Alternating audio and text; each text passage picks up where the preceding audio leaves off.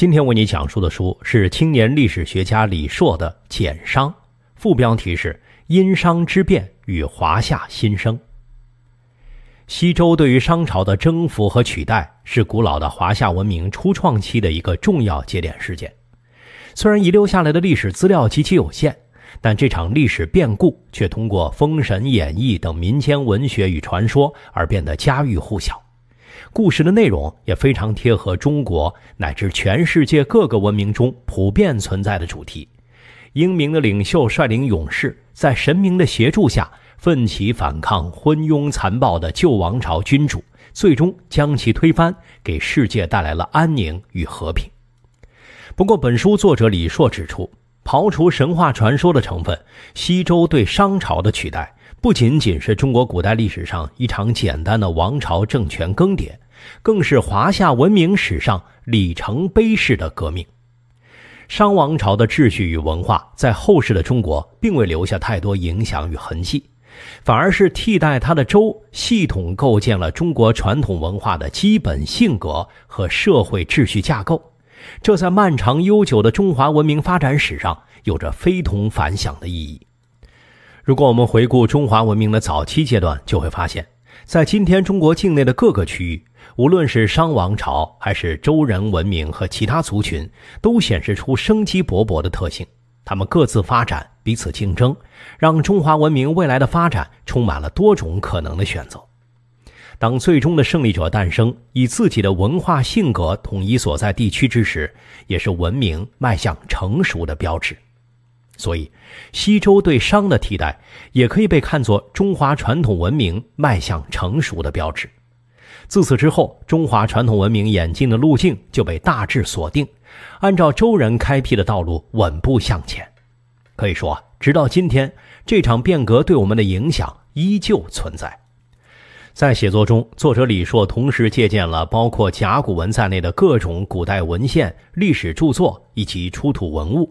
努力把这一段充斥着神话传说与推测的历史变得立体丰满。商朝灭亡的真正原因，并不是末代君主商纣王个人的残暴失德，而是支撑整个商王朝统治的活人祭祀与对外征伐，激发了周边部族的反抗。最终，相对弱小的周人部落发出了致命一击，完成了革故鼎新的壮举。由于商周之变发生的时代，华夏文明还未诞生后世标准的信史，大量历史粗线条轮廓之间的空白，需要作者用侦探一样的情景复原能力和想象力去填充。所以，本书作者李硕的很多观点和结论，也还需要时间和相关学科发现的进一步检验。但无论如何，这是一本难得的、充满想象力的跨学科历史著作，值得推荐给大家。接下来，我就分三部分为你简要介绍一下本书的内容。首先，我们来回溯一下商王朝与商人的历史，复原一下它独特而残忍的宗教祭祀文化与扩张传统的起源。其次，我们再顺着作者李硕的研究与叙述，来回顾一下周人在今天的陕西如何崛起壮大。在第三部分中，我再来为你简单讲讲。周人是如何通过联络盟友、壮大实力，实现了灭商的壮举？最后，在结语中，我再为你梳理一下本书的梗概，以及西周建立后如何有步骤、系统性的巩固了自己的统治，并且改写了华夏古老文明的基因与性格。一九五九年，我国考古学家在安阳殷墟发掘出了一座特殊的墓葬坑。经过多次发掘，发现墓葬坑被分为三层。一共埋葬了七十三名死者。根据对遗骸的分析，死者包括成年人、青年，甚至婴儿。他们并不是自然死亡，而是被分成三批处死。尸体上被覆盖以朱砂粉，掺杂着炭灰的土壤和粟米。另外，墓葬坑里还有大量的青铜器和被打碎的陶器。根据青铜器上镌刻的铭文。这些死者是商朝末年居住在殷都的贵族庶四子一家。庶四子一家遭遇灭门惨剧的原因，很可能是他生前触怒了纣王，从而被残暴的纣王当作向神明献祭的祭品人生而惨遭屠杀。考古学家和历史学家分析说，根据商人传统的宗教理念，被献祭的人生身份越高，就越能取悦神灵和祖先。更恐怖的是，在殷墟遗址的各个地点，考古学家已经发掘出一千多座规模不一的人祭掩埋坑，基本每个坑里都有十名左右的遇难者遗骸。从这个数字，我们今天可以推算出这种残酷的杀人祭祀传统在商王朝时代的流行程度。在司马迁的《史记》以及其他历史著作和民间传说中，纣王作为商王朝的末代君主和历史上有名的昏君，性格残暴，喜好杀戮，对自己属下的贵族大臣也毫不留情。而庶四子全家遭遇的悲惨命运，也成为历史上纣王真实暴行的一个有力证据。然而，纣王的残暴也有相当一部分是商王朝的宗教祭祀的固有习俗。后人对这种血腥传统知之甚少，才会把它归咎于末代君王的性格缺陷。在一般人的印象里，商朝是我国古代史中一个文明高度发展、生机勃勃的时代。但为什么会有如此残忍的一面呢？实际上，在人类不同地区文明的早期阶段，或多或少都会存在以人作为祭祀品取悦神明的习俗。这很大程度上是由人类早期宗教信仰的特征所决定的。以我们中国境内为例，从新石器中晚期，也就是距今大约六千年前开始，在黄河和长江流域的各个早期文明遗址中，就开始出现了人祭行为。随着这些早期人类聚居地演化成最早的邦国，人祭行为的规模也逐渐变大，终于在商朝登峰造极。建立商朝的商民族从哪里来呢？历史学家和考古学家们迄今也没有一个明确的定论。在本书中，作者李硕认为，一些中华文明早期的历史记载虽然近乎神话，但至少包含了一些可能的线索。在《诗经》里，商民族的祖先是一位名叫简狄的女子，她在野外吞噬了一枚来自神鸟叫玄鸟的卵，于是生下了儿子契。契是一位能干的部落领袖，他后来率领自己的亲属和部众脱离了母亲的部族，来到今天河南境内的商丘定居。于是，这个新生的部落就依据地名称自己为商人。他们崇拜的图腾是鸟，侍奉的最高神明叫帝，皇帝的帝。在传说中，从第一代首领契到灭掉夏朝、建立商王朝的成汤，商人一共有十四任部落领袖。先后迁移居所达八次之多。总体来看，商人的迁移方向是一路向北。说到商人安身立命的特长是游牧和贸易，这也是为什么直到今天做买卖的也会被称为商人。当然，在当时的历史阶段，这种迁移并不是一帆风顺与和平的，沿途必定和遇到的部落产生过各种流血冲突。商朝取代夏朝之后，立刻显示出了一种截然不同的风气。作者李硕介绍说，开国两百年后，商王朝的统治疆域已经是夏朝的十倍以上。从这个层面来说，商才是中国历史上的第一王朝。首先，商王朝堪称上古时期的基建狂魔，在暂时保留夏朝的都城二里头的同时，商王朝立刻开工修建了两座全新的中心城市。分别位于今天的河南偃师和郑州，它们都有高大的城墙、宫殿，以及兴旺繁荣的居民住宅区和手工业作坊，寿命都有两百年左右，是商代前期的统治中心。此外，商民族在迁徙之余，逐渐发明了自己的文字。这套文字不仅用来交流与记事，也被刻在龟甲和其他兽骨上进行占卜。这就是我国最古老的文字——甲骨文。随后，商王朝开始了迅猛的对外扩张。由于自身多次迁移，又擅长贸易，所以商人对于早期中原核心文化区以及周边的地理环境非常熟悉。商朝的军队可以做长期行军，远征遥远的周边部落，往返一次要花费几个月之久。另外，商人进一步发展了青铜铸造技术，也带来了粟和小麦，让自己的农业作物生产结构更为均衡多样化。先进的农业和冶炼技术意味着商朝军队能够拥有碾压对手的兵器，以及支持更多人口和兵员的粮食。所以，商王朝的势力很快就扩展到了山西和湖北境内。大约从开国后七十年起，在偃师和郑州这两座早期商朝中心城市里，就出现了宗教祭祀中大规模杀戮活人为祭品的行为。作者李硕综合了现有考古和历史学研究成果，得出结论说，在当时的社会文明水平下，人祭是一种快速构建族群自我认同的宗教仪式。简单来说，使用活人做祭祀的一方是作为统治者和霸主的商人族群，而被当作祭品被牺牲的，则是被征服和统治的一方，也就是身份低下的外族人。通过战争征服周边民族，再把战俘当作祭品献给自己的神明和祖先，这种行为同时是商民族显示自身优越性和统治资格、获取神明保佑的方式。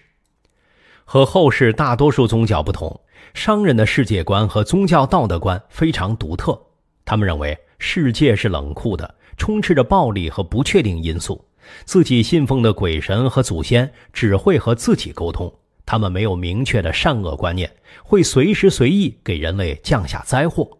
所以，为了让鬼神和祖先满意，必须频繁开展宗教祭祀活动，以活人作为奉献，才能让他们满意，继续庇佑自己。王朝的扩张必然给早期国家带来更多的征战和行政管理工作，所以客观上必须增强王权，让新兴的早期国家如同深知使臂，统一协调行动。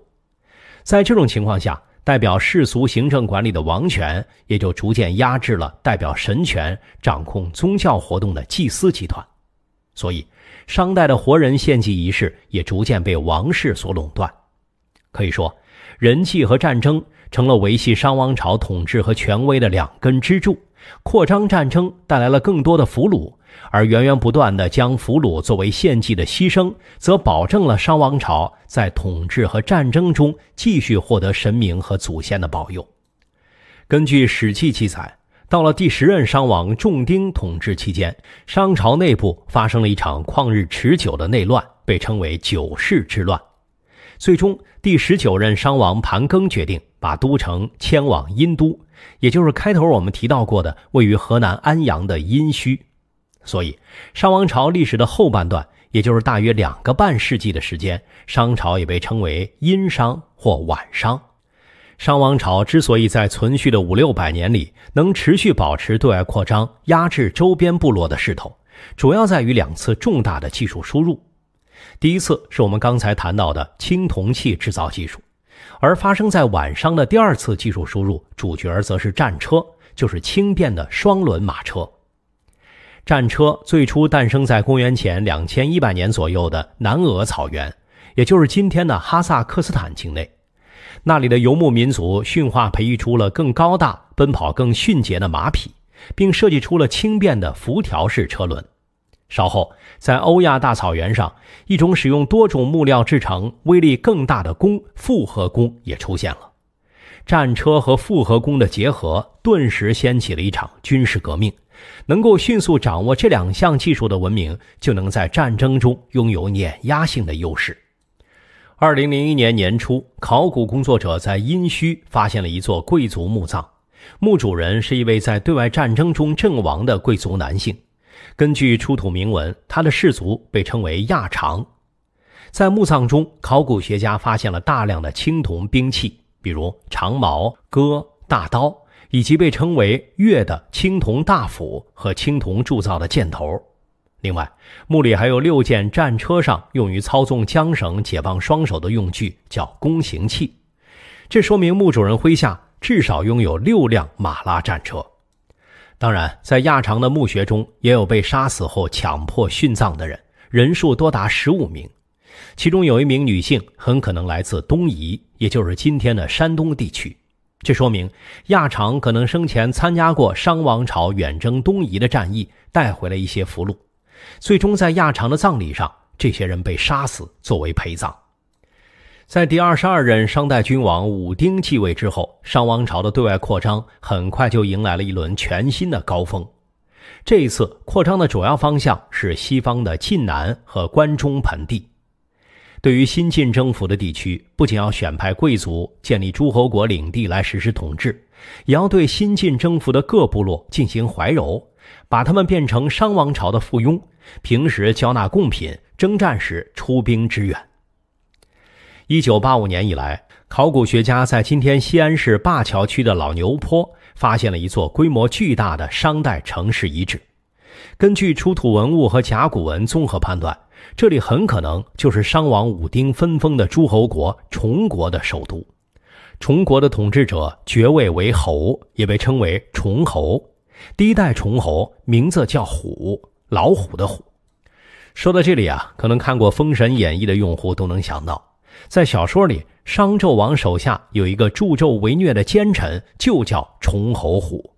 曾经为纣王修建露台。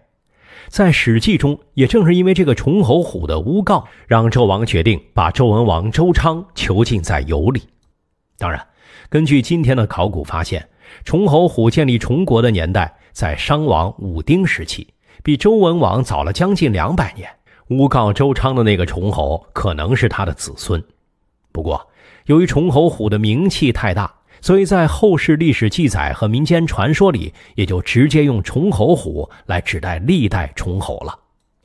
崇国的作用在于充当商王朝抵御外来入侵的盾牌和对外扩张的桥头堡。崇国建立后，就为商王立下了一件大功，那就是招降了一个北方的山地部族。由于生活在今天陕西周原地区，而被称为周人。然而，崇侯和商王没有想到的是，这个自称为周的部落，最终变成了灭亡自己的掘墓人。周人的祖先是当时华夏文明核心地带外围被称为野蛮人的羌民族。证据就是在传说中，周部落有位女性祖先，称为姜原。姜这个姓氏原本的含义就是羌族女性。近代的考古发现也印证了《史记》中周人早期的活动足迹。在商朝前期，商朝的军队在军事扩张中就打到了周人的栖息地。为了避免征服带来的杀戮，周人的祖先曾经被迫向北迁移。到了今天咸阳长武县附近的碾子坡，通过贸易用牲畜向商朝换来了各种生存必需的商品和青铜器制造技术。直到纣王的曾祖父武乙继位，周人才重新返回了周原定居。综合《诗经》《易经》等文献的记载，这次回迁的原因可能就是崇侯对周人进行了招安。周人的首领胆父。还在崇侯的安排指引下，在周原朝见了前来巡视的吴乙，从此周人就成为商王朝在西部边疆的附庸。作者李硕总结说，商人与周人的文化性格截然相反，商人的性格直率冲动，思维灵敏跳跃，行动大胆，对自己有无比的自信，但周人的性格截然相反。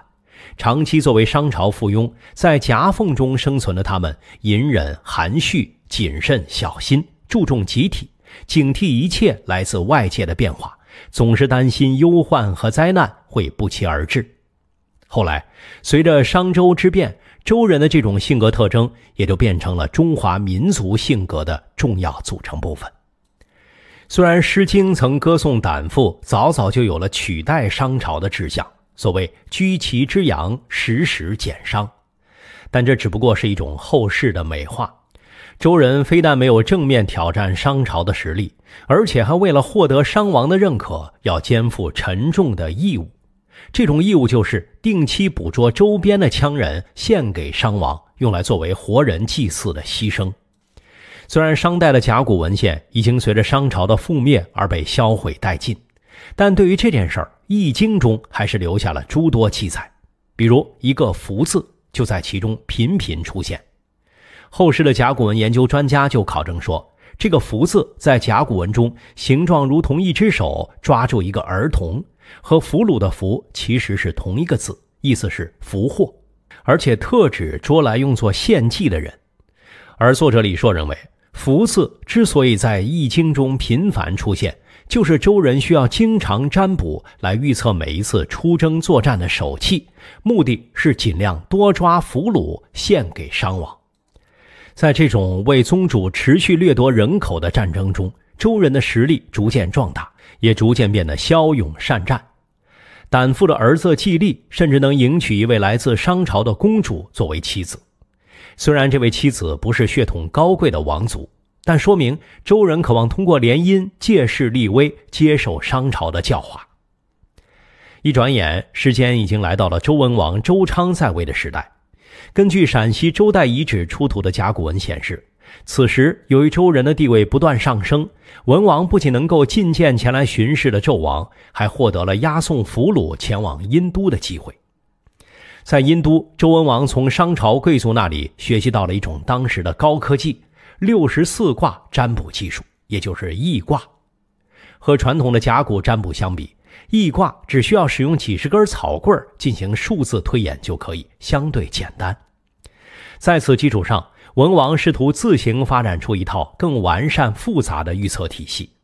然而，天有不测风云，在殷都居住了一段时间后，他就被纣王投入了有里监狱，差点也沦为被献祭的活人祭品。前面已经提到过，周文王这场牢狱之灾是由于崇侯在纣王面前的诬告，但真相究竟如何，现今已经无法考证。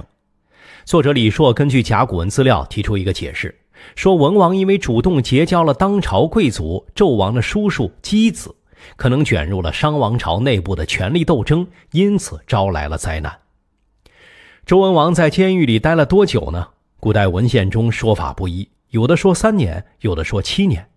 后世一些思想家还称赞文王在监狱中镇定自若，坚持完成了《易经》的写作。但实际上，真实情况可能是，由于身处监牢，又不断目睹同监狱的囚犯被当作祭祀的牺牲品。文王就对自己的未来产生了深深的忧虑，而人在这个时候往往会拼命地寻求对命运的掌控感，哪怕是一丝也好。这种恐慌很可能是文王在监狱中努力写作和频繁占卜进行验证的最大动力。所以，《易经》中坎卦和困卦的内容大多与牢狱生活相关，估计啊也来自文王在囚禁中的所见所闻。不过，周文王的最终获释和他日夜不停的占卜关系不大，主要归功于周人贵族的上下打点和游说。根据《易经》的记载，得悉父亲被囚禁后，文王的儿子们也来到殷都，到处找关系，力争让父亲获释。有意思的是啊，《封神演义》里著名的反派，被后世描绘为狐狸精的苏妲己，可能还为文王的获释出过一份力。作者李硕从《左传》和《史记》里分别发现了一段史料：苏妲己是商朝附庸小国苏国的公主，纣王讨伐苏国，苏国国君被迫降服，把她献给了纣王。在周武王灭商后，苏国的国君苏奋生还得到了武王的重用。作者李硕分析说，有一种可能就是文王的家人通过苏国国君的关系贿赂了妲己。最终见到了纣王，献上了各种珍宝和贡品，促成了文王的获释。另外，商朝灭亡后，纣王的儿子武庚继续留在殷都，担任周朝的附庸，治理降服的商人。而这个武庚很可能也是苏妲己的儿子。文王获得自由后，又发生了两件事情，坚定了他灭亡商朝、取而代之的决心。第一件是他从自己苦心创造的《易经》占卜体系中得出一个结论：世间万事万物的规律都是周而复始的。既然曾经弱小的商部落可以取代夏朝变得无比强大，那么同样，眼前强大的商王朝也可以被相对弱小的反抗者所推翻。另外，鬼神不可能无限庇佑一个固定的王朝或者部族，他们随时可以更换垂青的对象。而第二件事儿就是儿子伯邑考的惨死。读过《封神演义》的用户可能都知道，在小说中，伯邑考因为拒绝了妲己的勾引而被后者诬陷，从而让纣王下令把他做成了肉饼，赏赐给文王，强迫他食用。然而，作者李硕认为，在历史现实中，真相却是纣王一方面为了笼络文王，给了他一个方伯的外围诸侯头衔，但另一方面。纣王又按照商朝血腥的人祭宗教传统，举办了一场高规格的祭典，作为册封仪式的组成部分。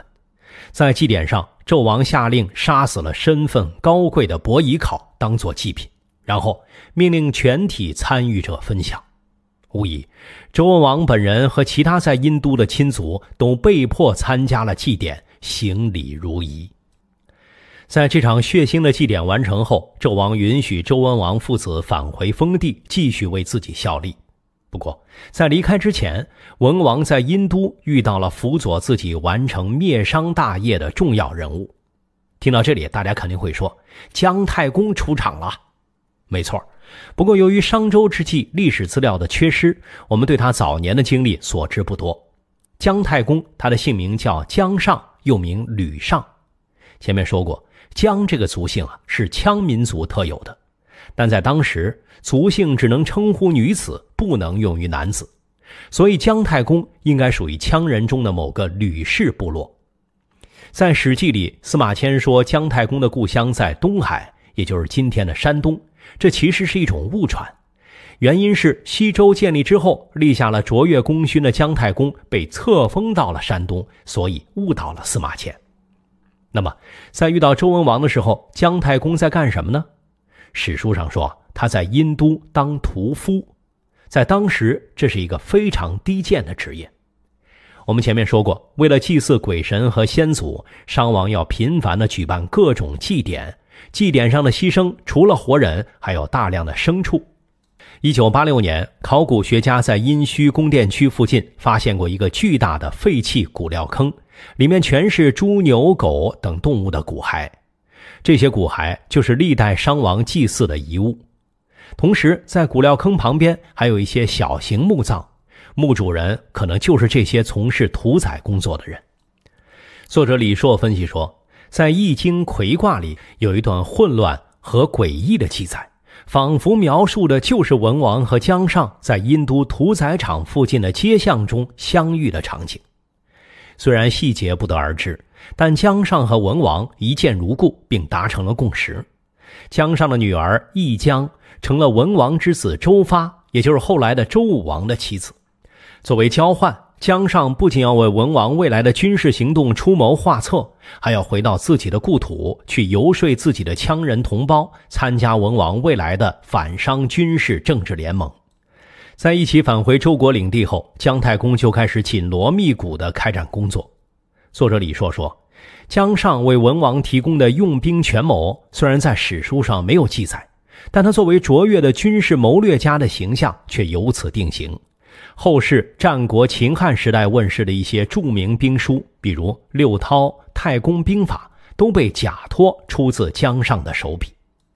同时，为了让自己的部众和盟友相信反商大业是得到鬼神眷顾的，所以周文王在这个时段还进行了一场宗教宣传活动。毕竟，打仗首先需要一场彻底的动员。于是，文王推出了一位全新的神——上帝。这个概念本是来自商人的宗教系统，但文王宣称上帝是独一无二、全能的至尊神，不仅仅是商王朝的保护者。上帝居住在天界，俯瞰人间，听取人们的祈祷和呼唤，会奖励保佑那些符合自己道德标准的人，而惩罚背弃那些作恶、违背自己意志的人。文王这种苦心塑造的宗教体系是什么样子的呢？在《诗经·大雅》里，有一位黄乙就说的非常直白。这位上帝能够和文王进行沟通，发布指示，从而让文王和血缘家族也有了某种神圣的色彩。李硕说：“只有这样，文王才能说服自己的部民和盟友，坚定地追随自己。”随后，周就开始了频繁的扩张。根据《史记》的记载，有了纣王赏赐的西伯头衔，文王就成为一方霸主，能够仲裁周边小国之间的争端。又出兵讨伐，吞并了密国、离国、虞国等小国，还灭掉了商的重要西方屏障崇国。其中，虞国位于今天的河南沁阳，这里距离商朝的殷都直线距离只有两百多公里。灭亡崇国的第二年，年迈的文王去世，继承者是他的儿子武王周昌。此时的周已经占据了整个关中地区，可能还有晋南和河南的一部分。国力强大，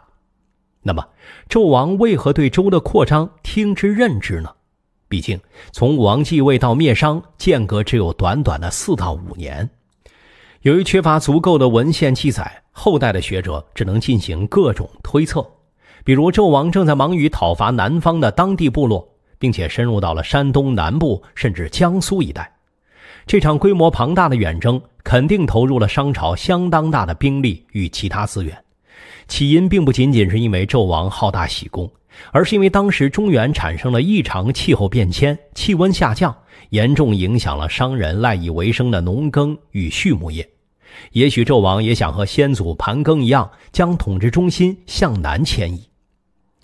正是因为规模庞大的南征，使得商朝核心统治区内兵力空虚，所以周王在继位后第二年就发动了征讨纣王的军事行动，公开决裂。周国的大军沿着玉溪古道前进，抵达了洛阳北部黄河边的重要渡口孟津。根据《史记》的记载，周武王在这里会盟各方诸侯，前来呼应的有八百家之多。当然，这是在用春秋时代的场景来进行想象比附。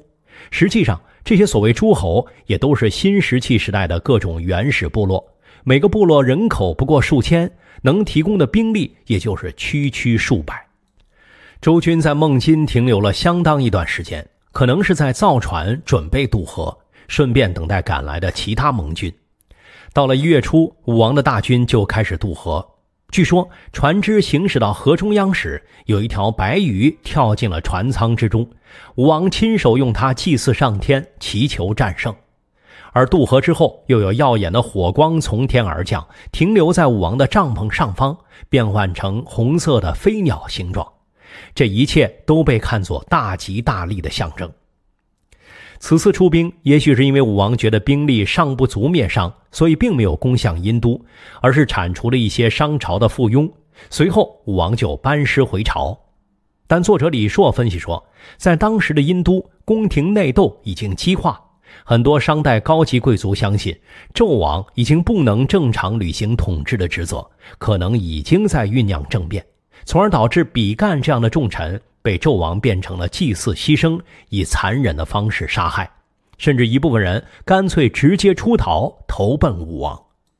于是，在孟津会盟后的第二年，也就是公元前一零四六年，周武王再次起兵东征，这一次声势更加浩大。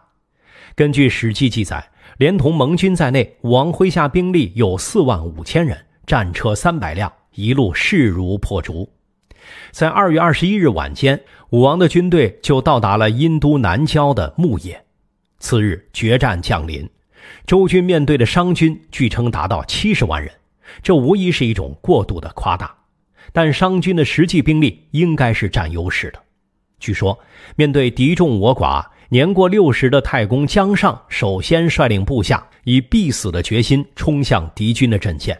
然后，武王本人也率领三百辆战车倾巢出动，跟随在自己的老师后面作为增援。然而，神奇的巨变发生了：商朝大军突然崩溃瓦解，并开始自相残杀。后世对这种奇怪的现象有各种解释，比如此刻的商朝大军主力还在南方，这支仓促组织的部队大多是卑微的奴隶，他们对纣王的统治早就心怀不满。又有学者说，商朝军中已经有一些人与武王做好了约定，里应外合，倒戈相向。总之，预计漫长的战斗在一个上午就宣告结束。纣王兵败如山倒，在逃回殷都之后，他登上了露台，把宫殿里珍贵的宝物齐聚身边，然后自焚而死。在后人看来啊，纣王的死是一种穷途末路下的无奈，但作者李硕说。按照商代的宗教理念，这是战败的纣王进行的最高规格祭奠。他把自己作为牺牲，奉献给了鬼神和先祖。好了，这本《简商》的主要内容就大致为你介绍到这里。本书作者李硕综合了包括甲骨文在内的各种古代文献与历史记载，以及考古学研究报告，努力还原了商周之变这个中国古代历史上重大事件的全过程。作者的笔触如同一部高精度的电影镜头，带领我们掠过了千年的时光，从规模宏大的商朝殷都，再到周人栖息的莽莽周原，展示了商人和周人这两个性格与习俗截然相反的部落各自崛起与争霸的全过程，重演了一部三千多年前中华文明早期的史诗画卷。作者李硕说。牧野之战的胜利虽然让武王的大军能够进入殷都，但这仅仅只具备某种象征性意义。之后，刚刚建立的西周王朝耗费了漫长的时间与精力，才对商王朝旧有领土实现了有效控制，重新安置了商王朝数量众多的移民，并出台了全新的宗教、政治与社会制度。可以说，商周之变不仅是中国上古历史上一次重大的王朝更迭，更是中华文明发展史上最重要的升级重置。根据史书记载。在灭商的第二年，周武王就骤然去世，享年四十五岁。武王的弟弟周公旦成为摄政大臣，辅佐年幼的周成王进行统治。可以说，周公旦是西周政治与社会制度的首席设计师。周公主政的前三年，主要是平定了一场周王朝内部贵族勾结商朝残余势力的叛乱。随后开始分封周王的亲族与灭商的功臣到各地当诸侯，防止商朝势力死灰复燃，巩固周王朝在各地的统治。这就宣告了西周至春秋战国时期最为重要的政治制度——封建制的诞生。其次，为了彻底向天下宣布神明也遗弃了被灭亡的商朝。周公实现了武王的遗愿，拆毁了殷都，并在原有的都城镐京之外营建了第二个都城洛邑，也就是今天的河南洛阳。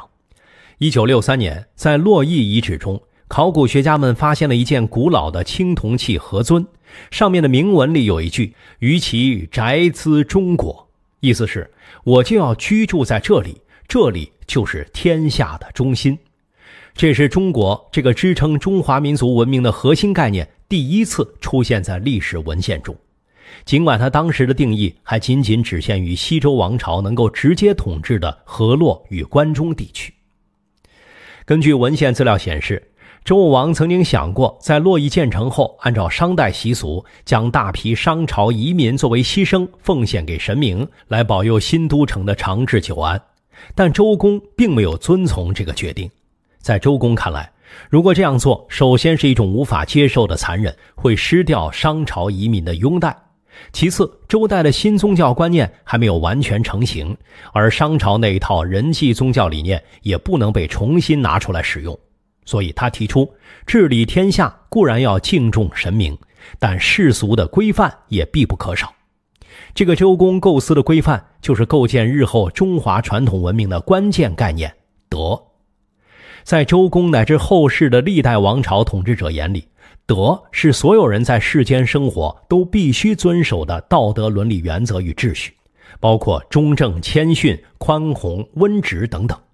天上的神明会不问身份和种族，保佑所有有德之人，一气惩罚那些失德之人。所以在洛邑新城的落成典礼上，往日恐怖的集体人气消失了。取而代之的仅仅是猪、牛、羊这些寻常动物。在各种周代文献记载中，几乎所有关于商代人祭宗教传统的记载也都被仔细抹去。那种残酷的行为被重新解释为纣王个人的残暴。同时，周代王室贵族还被鼓励和商代贵族移民通婚，通过这种柔性文化融合，消除潜在的反抗隐患。自此，周朝所开启的礼乐文明逐渐取代了商朝以人祭为基础的鬼神文化。由周公首创、孔子发扬光大的人本主义精神，也代替了商朝几百年来的宗教神秘主义。两者叠加在一起，成为支撑中华传统文明的基石。以上就是这本书的精华内容。恭喜你，又听完了一本书。